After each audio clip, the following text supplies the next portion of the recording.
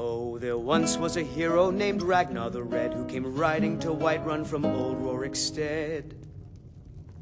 And the braggart did swagger and brandish his blade as he told of bold battles and gold he had made. But then he went quiet, did Ragnar the Red, when he met the shield maiden Matilda, who said, Oh, you talk and you lie and you drink all our mead. Now I think it's high time that you lie down and bleed. And so then came clashing and slashing of steel as the brave lass Matilda charged in full of zeal. And the braggart named Ragnar was boastful no more when his ugly red head rolled around on the floor.